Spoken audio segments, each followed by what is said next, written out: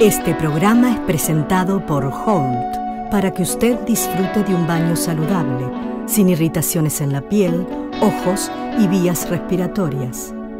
Holt. No más cloro en su piscina.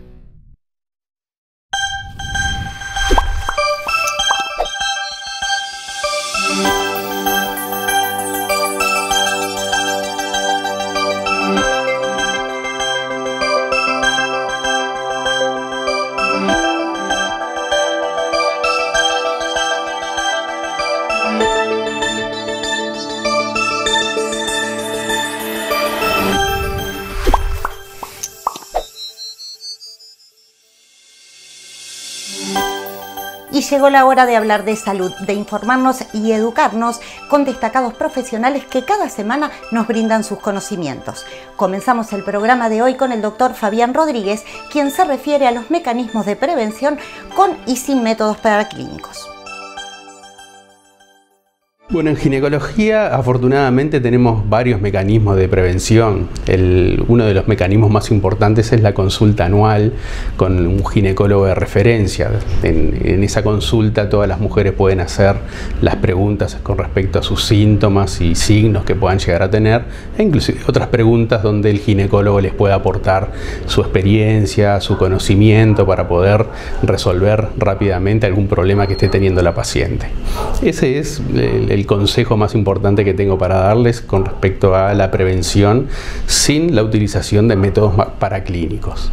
Con respecto a los métodos paraclínicos, ahí también tenemos mecanismos de prevención que son sumamente efectivos.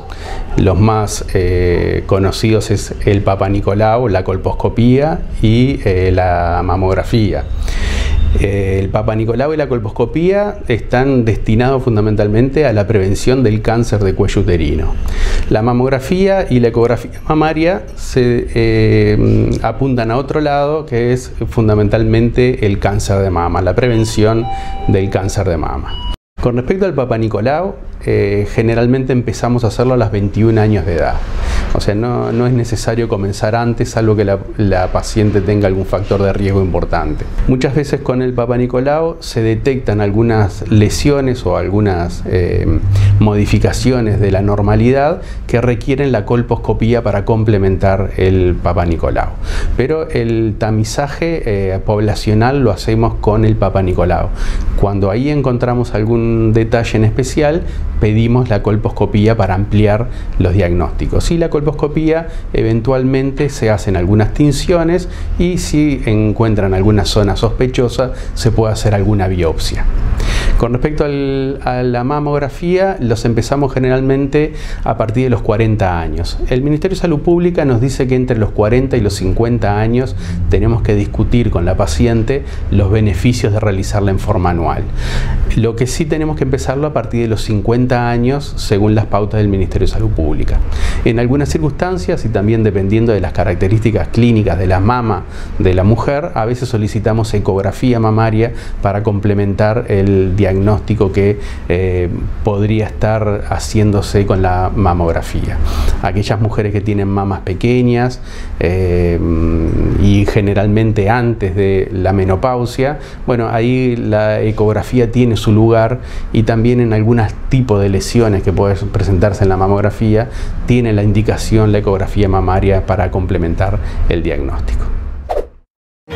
Presenta Casmu. Elegí lo mejor para vos y los tuyos. Casmu, estamos para cuidarte. Y la doctora Laura Sánchez, asesora en odontología, nos brinda hoy estos consejos. Recuerden que siempre que hacemos cualquier tipo de tratamiento, la parte de mantenimiento y controles es fundamental. Nosotros decimos que la etapa de mantenimiento y control es hasta más trascendental que lo que es el tratamiento en sí, porque es lo que nos va a proporcionar la longevidad. Por eso les recordamos y le hacemos hincapié que una vez que finalicen el tratamiento, sigan con la parte de controles y mantenimiento, que es simplemente ir al, a su odontólogo, visitar y chequear que todo esté correcto, que así lo va a hacer, pero es necesario que el profesional lo vea con esos controles periódicos que les vamos a marcar. Este programa es presentado por Holt para que usted disfrute de un baño saludable, sin irritaciones en la piel, ojos y vías respiratorias. Holt. No más cloro en su piscina. Desde Vital Center, Florencia González responde a interrogantes sobre el tratamiento del hipogifu. El lipogifu es un tratamiento que se realiza en una sola sesión por eso llama muchísimo la atención de la gente. Eh, es el único tratamiento en el mercado que trabaja en una sola sesión y aparte también ayuda a estimular la producción de colágeno y elastina de la piel. La respuesta para ustedes en un principio sería que en el caso de que deseen reducir una zona localizada, como por ejemplo puede ser algo pequeñito como el bajo glúteo, el pantalón de montar, los brazos, zonas pequeñas y localizadas, la mejor opción va a ser el lipogifu. También es muy buena opción para eh, aquellas zonas que son súper difíciles de erradicar, de bajar de peso. Esto también los puede ayudar muchísimo. El lipogifu se hace en una sola sesión porque es un ultrasonido focalizado de alta intensidad que lo que hace es matar la célula adiposa. Por lo tanto, no tendría sentido que nosotros hagamos alguna otra sesión luego de este tratamiento porque estaríamos eh, realizando el tratamiento sobre un tejido adiposo que ya está muerto. El lipogifu sí se puede aplicar en dos zonas en simultáneo pero llegamos a reducir una talla con este tratamiento porque como decía es para zonas pequeñas. Entonces, para poder conocer sobre este y otros tratamientos, les recomendamos que se comuniquen a los teléfonos que aparecen en pantalla para poder asesorarlos de forma personalizada. Mis hermanos y yo tenemos el mismo sueño y esperamos que se cumpla pronto. Ir más allá del cielo, lejos de todas estas cosas. Si nos exponemos al sol sin la protección adecuada, nuestros ojos pueden sufrir lesiones como dolor, intolerancia normal a la luz, lagrimeo o ojos rojos. Para evitarlo debemos utilizar gafas homologadas con filtros UV. Tenemos una gran variedad de diseños para toda la familia. Somos Coóptica, la mejor forma de ver el mundo.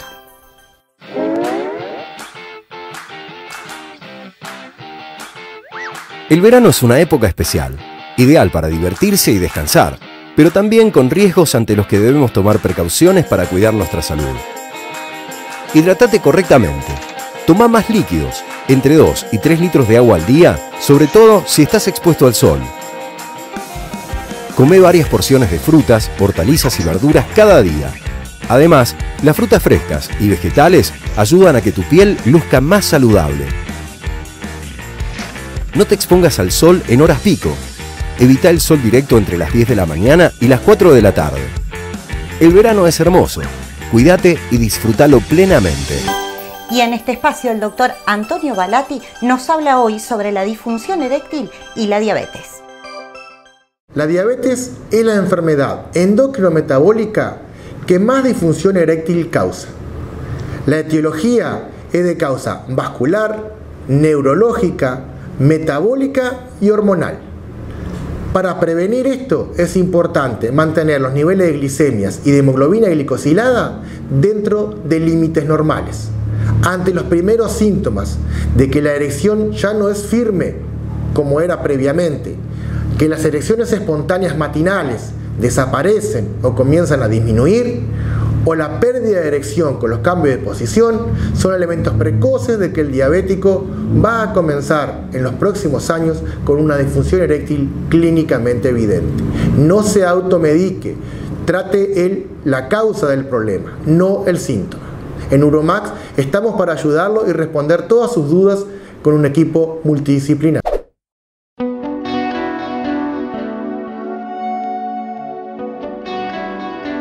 Familia, siempre lo mejor. Hold. No más cloro en su piscina. Farmeco, Farmacia Ecológica del Uruguay. Vascuade es una importante ayuda en el tratamiento del cáncer. Posee un importante efecto citotóxico, resultando un producto natural con efecto antitumoral, regenerativo e inmunoestimulante sin efectos secundarios y compatible con cualquier otro tratamiento convencional que esté realizando el paciente, disminuyendo sus efectos adversos al actuar como hepatoprotector. Farmeco 2 403 2341 095-854-532 www.farmeco.com.uy No más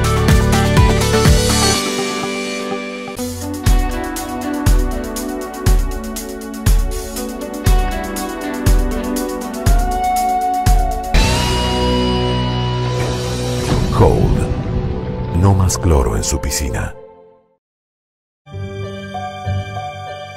Hay momentos tan difíciles como inevitables y anticiparse es la mejor opción.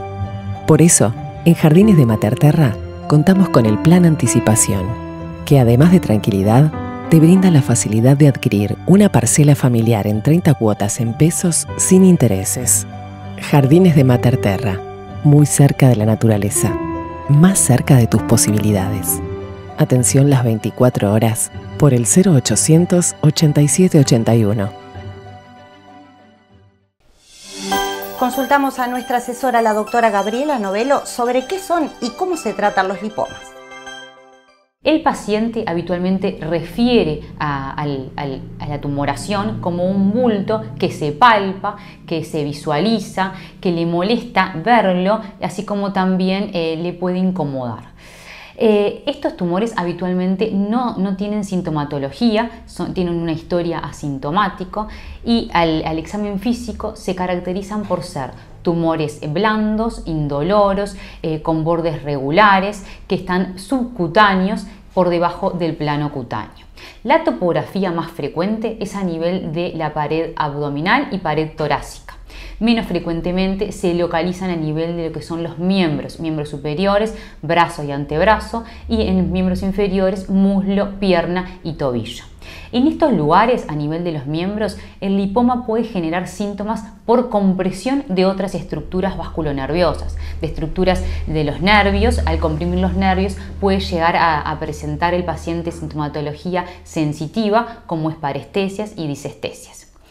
Centrándonos entonces en el tratamiento de los lipomas, los lipomas eh, se puede realizar lo que es la resección directa del mismo mediante un abordaje mínimo, no requiere eh, habitualmente un abordaje amplio de todo el tamaño del lipoma porque eh, con un abordaje mínimo ya se logra sacar, es de fácil resección.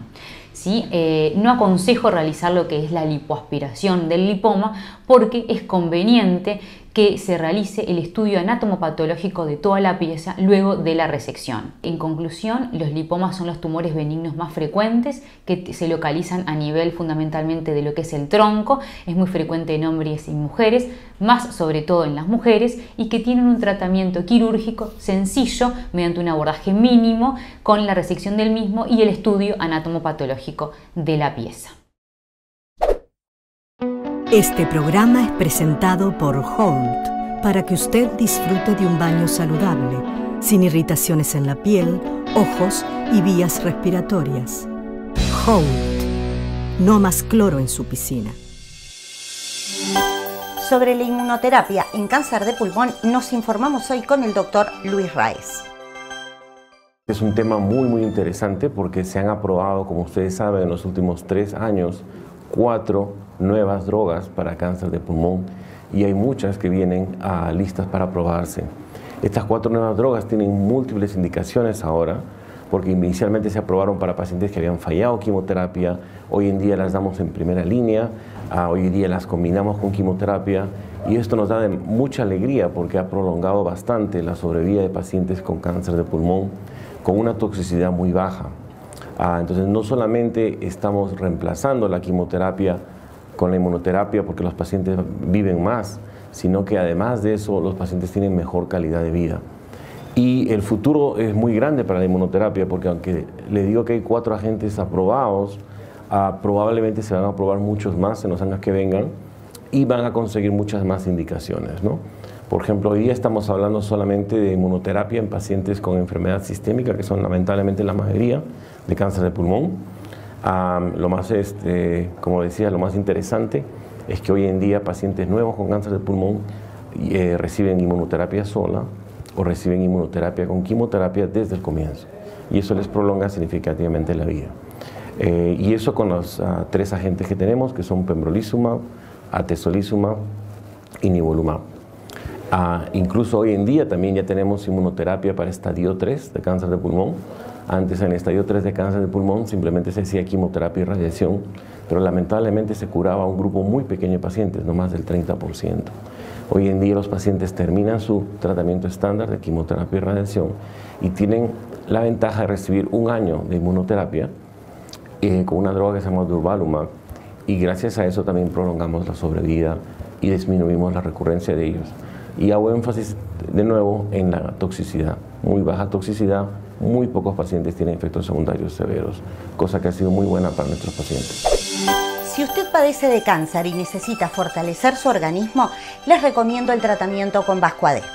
Vascuadé es un tratamiento natural en base a hierbas medicinales que tiene un importante efecto antitumoral y que ayuda a disminuir los efectos adversos ya sea de la quimioterapia o la radioterapia. Fue desarrollado por el oncólogo, el doctor Bernardo Daquiola y el equipo multidisciplinario del laboratorio homeopático Farmeco. Por más información y consultas, los invito a comunicarse a los teléfonos que figuran aquí en pantalla. Presenta Grupo Tivo Importaciones para su línea de galpones de jardín, depósitos y garajes prefabricados.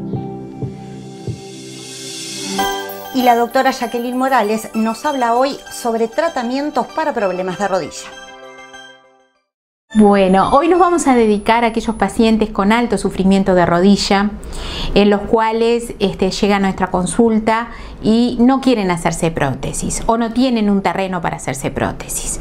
Lo que le hacemos es medicina regenerativa. Resultados excelentes, al punto de que el paciente baja de la camilla con una eh, amplia funcionalidad eh, articular, se mueve muy bien, eh, se va para la casa con una amplia disminución de su dolor y eh, alargamos el proceso de eh, llegar al punto de la prótesis, quizás ese paciente no llegue nunca a la prótesis, quizás tengamos que repetir plasma, pero sí seguro que el plasma rico en plaquetas es hoy una solución para eh, no llegar a las prótesis.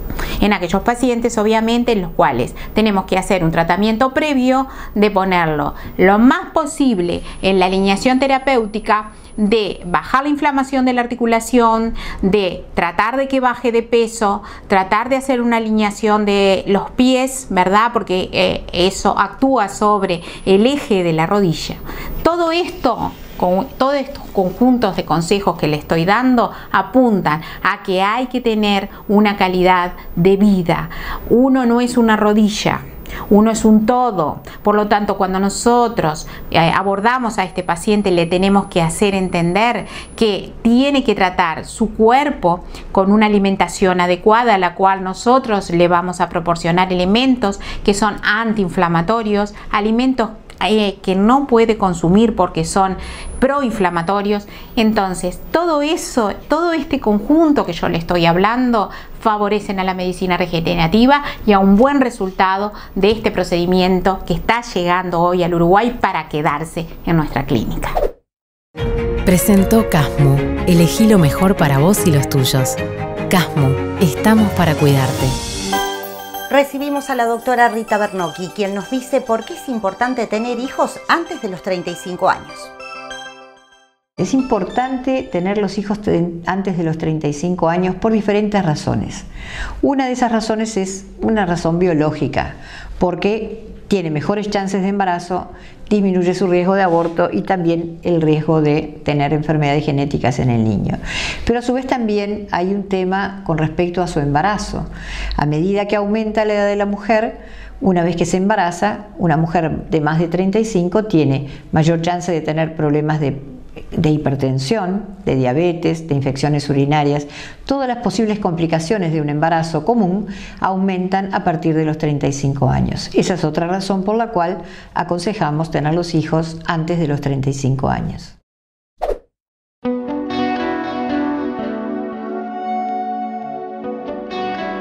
Para mi familia, siempre lo mejor. No más cloro en su piscina. Habíamos decidido cerrar por un tiempo y solo atender urgencias. Hoy decidimos abrir con más controles y protocolos de los recomendados. Círculo Láser abre sus puertas para que vos abras las ventanas del alma. Círculo Láser abre. Círculo Láser, primer sanatorio de ojos del Uruguay. 2411-2000.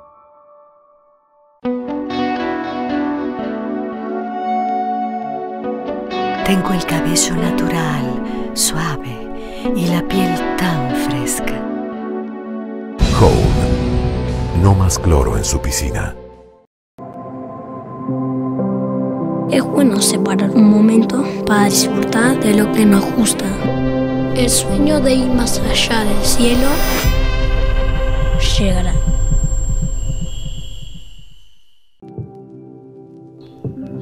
Presenta Grupo Tivo Importaciones para su línea de galpones de jardín, depósitos y garajes prefabricados.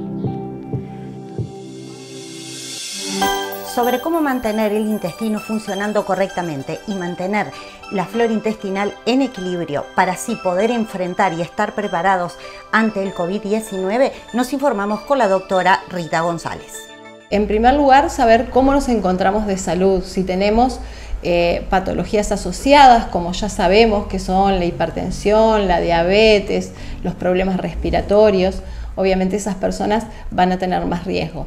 Pero los demás, los que estamos sanos, ¿estamos igual realmente preparados?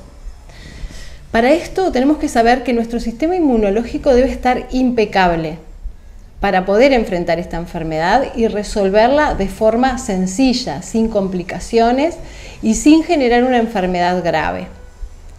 Como les decía, también tenemos que tener en cuenta que no solamente eh, va en el estilo de vida que tengamos y el no tener enfermedades. Es importante que nos preparemos previamente. Y ahí tenemos que apuntar a diversas cosas, como la alimentación, en qué, en qué, forma nos estamos alimentando, consumimos los alimentos adecuados, tenemos una alimentación sana, qué alimentos son los que también me van a proteger de esta enfermedad. Por otra parte, también sabemos, ya está estudiado y se ha comprobado, que las personas que tienen algún trastorno intestinal ya sea estreñimiento, divertículos o cualquier patología asociada al intestino, por supuesto que en las enfermedades inflamatorias crónicas intestinales es mucho más el riesgo, esas personas también tienen que prepararse desde ese lugar, de tener el intestino sano, el intestino funcionando correctamente. ¿Para qué? Para que su flora intestinal que hoy se sabe que es el órgano inmunológico más grande que tiene nuestro organismo, esté en estado adecuado para poder enfrentar el COVID-19. Si hay un estreñimiento o algún trastorno del tránsito intestinal, se va a producir un desequilibrio de la flora inevitablemente. Y eso hay que evitarlo, hay que revertirlo y se puede hacer mediante la hidroterapia de colon. Este programa es presentado por Holt para que usted disfrute de un baño saludable, sin irritaciones en la piel, ojos y vías respiratorias. Holt. No más cloro en su piscina. Y en este espacio de odontología continuamos informándonos con nuestra asesora, la doctora Laura Sánchez, sobre implantes. Para responder a, la consulta de si los implantes pueden ser rechazados por el organismo, la respuesta es que no. ¿Por qué? Porque el implante no es como un trasplante, el cual tiene que ser biocompatible con el organismo. El implante es un aditamento de titanio que va a ser totalmente inerte y no le va a generar ningún tipo de respuesta ni de rechazo al paciente. Entonces, al momento de reponer una, varias o todas las piezas dentales, volvemos a mm, recalcar que la mejor solución es la colocación de implantes, ya que no hay manera que su organismo le genere una respuesta de rechazo. Presenta Casmu. Elegí lo mejor para vos y los tuyos. Casmu, estamos para cuidarte. Sobre cuándo está indicado realizar una episiotomía, nos informamos con el doctor Sergio Rodríguez. No siempre se hace una episiotomía, no siempre es necesario. El obstetra va manejando con maniobras que cuidan el periné para prevenir el desgarro y, de ser posible, no realizar la episiotomía. O sea, la episiotomía no es un método de rutina. Sin embargo, muchas mamás obviamente sienten aprehensión pensar nada más que podemos realizar un corte en la vagina. Y de hecho, eh, tienen que saber que es un procedimiento que no les va a doler. Generalmente se utiliza analgesia eh, local, una técnica que a mí me gusta llamar de desgarro dirigido, que consiste en realizar una muy pequeña incisión que luego, atendiendo el parto, cuidando el periné, como si no hubiéramos hecho realizado ninguna episiotomía, permita que eventualmente el desgarro se aleje de la zona perineal, perianal que estamos tratando de proteger. Lo que a mí me gusta eh, denominar como técnica de el desgarro dirigido, que consiste en realizar una pequeña incisión hacia uno de los costados y luego atender el nacimiento del bebé protegiendo el periné como si no se hubiera hecho episiotomía. De esa manera, si llega a haber un desgarro, el desgarro va a seguir la línea propuesta con ese pequeño corte que realizamos y que es absolutamente indoloro, puesto que hemos realizado alguna anestesia de tipo local y que de esa manera va a proteger toda la región perianal y rectal. Farmeco 2 403 2341 095 854 532 www.farmeco.com.uy Otro de los productos de Farmeco muy utilizado en esta época principalmente y aconsejado es el repelente natural. Hace muchos años hicimos una fórmula natural de un producto que es capaz de ahuyentar los mosquitos y no afectar para nada la piel. Está hecho con, aceites esenciales, está hecho con citronela y clavo de olor. Son dos productos naturales que ahuyentan a estos insectos, o sea que evita las picaduras tan molestas de los mosquitos. Está pensado para que sea utilizado por toda la familia, desde niños de muy temprana edad, desde, bebés, adolescentes, mayores y hasta personas muy eh, adultas, pueden utilizarlo porque no tiene ningún contenido eh, nocivo, o sea, no, no, tiene ningún químico que pueda utilizar, o sea, que pueda provocar alguna alergia o algún efecto secundario. En eso pueden estar completamente tranquilos que es un producto completamente natural y es una fórmula muy eficiente para ahuyentar los mosquitos y así evitar su picadura. El repelente farmaico viene en un frasco con dosificador, se aplica fácilmente, se aplica rociando en la piel y dejando secar algunos minutos y va a tener una protección de casi 6 horas. O sea, por, ese lapso de tiempo vamos a estar protegidos contra la picadura de insectos, o sea, picaduras básicamente de, mosquitos. Como decía, nuestro repelente natural eh, tiene una duración muy superior a lo que son los repelentes convencionales. Eh, eso debido a que está hecho con, con ingredientes naturales, ingredientes que no tienen ninguna contraindicación y por eso también está indicado para que toda la familia lo pueda utilizar. Nos despedimos recordándoles que su salud es lo más importante, que prevenir enfermedades es un compromiso de todos y que como siempre nosotros los esperamos aquí la próxima semana a través de la pantalla de su canal.